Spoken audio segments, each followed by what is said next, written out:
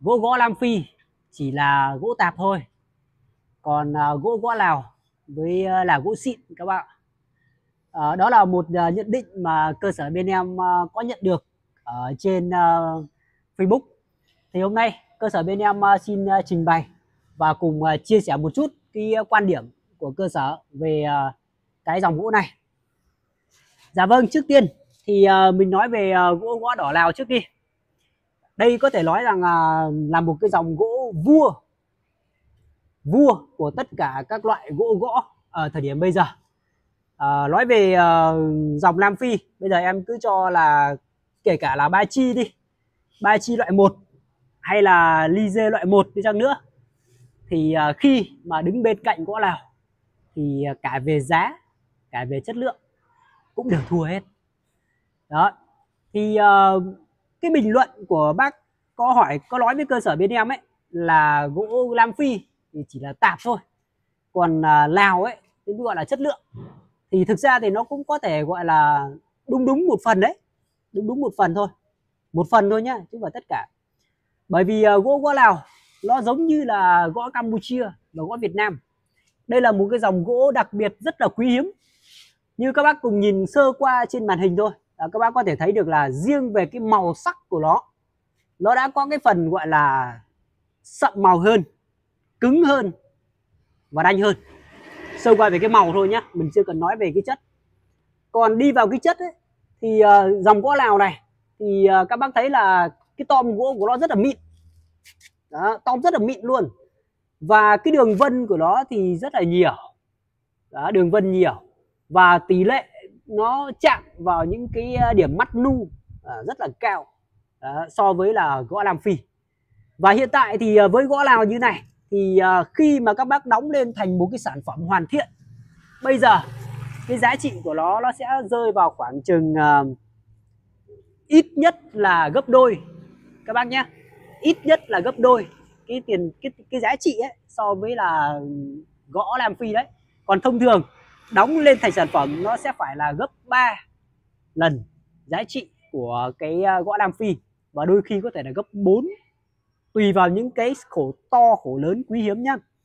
Và với gõ Lào thì à, nó đã bẵng đi một thời gian khoảng chừng vài năm là gần như là không thấy có cái hiện tượng là nhập khẩu về luôn. Đó. Còn bây giờ thì à, cũng có nhập khẩu về, nhưng mà nó không có cái khổ lớn nhiều các bạn đó, thông thường thì chỉ có về các cái hàng tivi hàng nhỏ thôi. Đó, những cái mặt to mặt lớn để làm thành những mặt bàn ghế thì là rất là hiếm. Cho nên là lâu nay thì các bác thấy là rất là hiếm. Có những cái bộ sản phẩm nhưng gõ nào trăm phần trăm. Dạ vâng còn trở lại gõ lam phi. Và trở lại cái câu nói đó là gõ lam phi chỉ là gỗ tạp thôi. Thì uh, mình nói về vấn đề uh, kinh tế trước. Thì trước hết thì bây giờ như là gõ lào việt nam và campuchia thì uh, như việt nam đã đưa gõ của việt nam vào trong danh sách đỏ rồi bảo tồn rồi thì mình không nói tới tại vì nó không có nữa rồi. Thì uh, nói về lào với Campuchia thì bây giờ là nguồn gỗ nó cũng cạn kiệt rồi. À, người ta cũng không muốn xuất khẩu cho bên mình nữa. Nói chung là nôm na là nguồn gỗ nó, nó khan hiếm đi thì giá lên nó cao thì nó ít người tiếp cận được. Còn với gỗ Nam Phi thì bây giờ nó là một cái dòng gỗ bây giờ còn gọi là còn khá nhiều không phải là còn nhiều tới mức độ và nhiều nhiều lắm mà rẻ rúm đâu. Nhưng mà coi như là nó còn khá là nhiều. Cho nên là mình có hàng để mình đóng có gỗ để mình làm một cách thường xuyên. Có nghĩa là hết gỗ đi mua thì vẫn có cảng kiếp người ta nhập về thì vẫn có.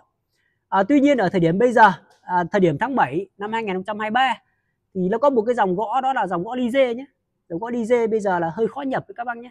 À, thứ nhất là do điều kiện về chính trị cái thứ hai là cái nguồn gỗ của dê bây giờ không còn nhiều đâu đó thì bây giờ đa phần là các cái dòng cây của Ba Chi đó, Uganda hoặc là một số các dòng như là Cereon đó hoặc là Ghana đó. Nhưng mà nói về gỗ Lam Phi thì ờ, nếu mà chúng ta nói là bảo nó là gỗ tạp ấy thì là sai nhá. Đó bản chất nó cũng là thuộc cái dòng gỗ đó thôi. Nó cũng thuộc cái dòng họ đậu nó cũng là thuộc cái dòng gỗ đấy. Nó chỉ khác một điều đó là cái điều kiện địa chất thì uh, em không biết tại sao mà như gõ của Việt Nam với Lào Campuchia ấy thì cái tom nó rất là mịn. Và cái cây của nó là sống lâu. Lâu lắm thì nó mới nó mới sống thì nó mới đưa ra được một cái cây to như vậy. Có nghĩa là mình tưởng tượng như là cùng là một cái tấm gỗ như này. Nhưng mà có thể là cây gõ của Lào Việt Nam Campuchia mình ấy thì nó có chung nó có thể là đến hàng trăm năm nó mới ra được cái cây to như vậy. Thì cái tất nhiên là cái thời gian sinh trưởng lâu thì nó sẽ đồng nghĩa với việc là cái tom gỗ nó mịn và chất cây nó đanh nó chắc hơn. Còn gỗ lam phi thì có thể là nó nhiều hoặc là có thể là mình cứ cho nó là hợp đất đi. Nó lớn nhanh thì nó tom nó to nó mịn nó thưa thì gỗ nó nhiều thì nó rẻ thôi. Chứ không có chuyện là bảo là nó rẻ rúm tới mức độ là gỗ tạp đâu các bác nhé. Nó vẫn là gỗ nhóm 1 nhưng mà để phân tích sâu hơn về cái gỗ gõ này thì uh, ngày xưa các cụ nhà mình gọi những cái dòng gỗ này gọi là Lào Việt Nam Campuchia ấy gọi là gỗ cà te nhé ngày xưa gọi là gỗ cà te hay còn gọi là gỗ hổ bì. Đó còn bây giờ thì các cái dòng gỗ lam phi thì anh em cũng chỉ gọi là gỗ lam phi thôi.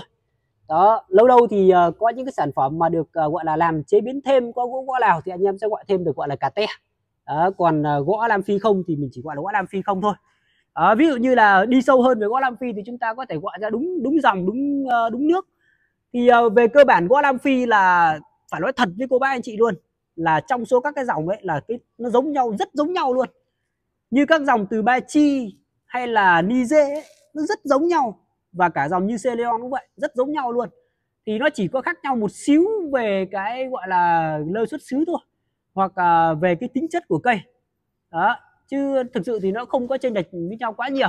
Gỗ lam phi ấy thì nó chỉ có dòng Ghana thì nó gọi là cái chất cây nó tệ và hiện tại thì nó có một số các cái dòng như anh em hay gọi là EQ Ecop ấy. Thì là những cái dòng mà tom sớ nó thưa những cái sơ rửa ấy. Thì đó là những cái dòng nó gọi là cái giá trị của nó thấp hẳn thôi. Đó chứ còn như các dòng như Ceneon này hay là Lize hay là Bachi này thì bây giờ nó cũng đang xem xem với nhau hết. Cô bác anh chị nhá. Đó và hôm nay thì cơ sở chia sẻ với cô bác anh chị một xíu về uh, gỗ gõ đỏ và xoay quanh uh, gõ lào với gõ lam phi. Uh, để cô bác anh chị thấy được rằng là cả hai cái ờ, loại gỗ này đều là dòng gỗ tốt, dòng gỗ chất lượng. Nhưng mà về bên gỗ lào thì tất nhiên thì nó sẽ có một cái độ, gọi là, nhỉnh hơn về chất lượng. Do là cái cây ấy thì nó sống, nó có thời gian sống nó lâu hơn. Đó, và cái chất cây tom gỗ nó mịn, màu sắc cây nó đẹp hơn, thì tất nhiên là giá nó cao hơn. Còn gõ lam phi thì nó thua một xíu. Coi như mình đánh giá điểm gõ lào là 10 đi, thì ờ, gõ lam phi thì được khoảng chừng 78 chứ không có chuyện là gõ lam phi bảo là gỗ tạp đâu các bác nhé nói vậy là sai đấy. Cảm ơn mọi người đã cùng theo dõi video này. Và cơ sở cũng có các cái sản phẩm gỗ gõ lào. Nếu các bác thích thì các bác vẫn có thể đặt tại cơ sở bên em. Nhưng ờ, giá thì cơ sở bên em xin nói trước là giá nó sẽ ít nhất là gấp đôi. Còn thông thường thì sẽ là gấp 3 hoặc có thể hơn gấp 3 tùy sản phẩm các bác nhé.